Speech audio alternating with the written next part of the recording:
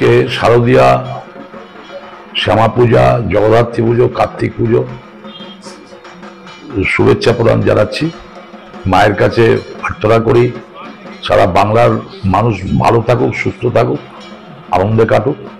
আমার বিধানসভা সপ্তগ্রাম চুচুড়ো, হুগলি জেলার মানুষ সুস্থ থাকুক, ভালো থাকুক, আর সারা বছর আমি যেন যেভাবে সেবা করছি মানুষের, সেটা যেন করতে পারি। মায়ের কাছে এটাই আমার প্রার্থনা। সত্তর থেকে করে দিয়েছে পঁচাশি হাজার টাকা। এটা ভারতবর্ষের কোনো মুখ্যমন্ত্রী করেন না এটা আমাদের রাজ্যের মুখ্যমন্ত্রী করেন মমতা ব্যানার্জি। আর মানুষ বারোয়ারিগুলো এই টাকাতে অত্যন্ত খুশি।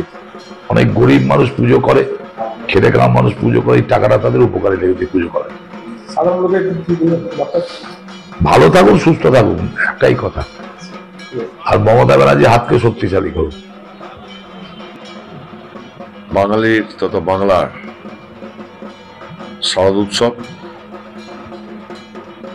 আপনারা জানেন ইউনেস্কো এই দুর্গা উৎসবকে আন্তর্জাতিক স্বীকৃতি দিয়েছে। সেই শারদ উৎসবে বাঁশবেড়িয়া পৌরসভার পক্ষ থেকে বাংলা তথা ভারতবর্ষের এবং বিদেশে বসবাসকারী অনাবাসীয় ভারতীয়দের প্রীতি, শুভেচ্ছা ও ভালোবাসা জানাই এই দুর্গা উৎসবে সকলে সুস্থ থাকুন, সকলে ভালো থাকুন। এইটুকু কামনা করি।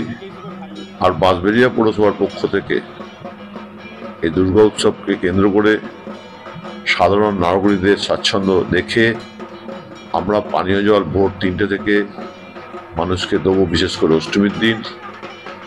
এছাড়াও রাস্তাঘাটের সংস্কারের কাজ চলছে। প্রায় শেষের দিকে ত্রিবেণী অঞ্চলে যেখানে সব থেকে বেশি দুর্গাপুজো হয়, বেঙ্গল গ্যাস বাড়ি বাড়ি গ্যাস লাইন দেওয়ার জন্য বাঁশবেড়িয়া যে যে দিকটা কার্তিক পুজো হয় সেদিকটার সংস্কার কাজ আজ থেকে শুরু হলো।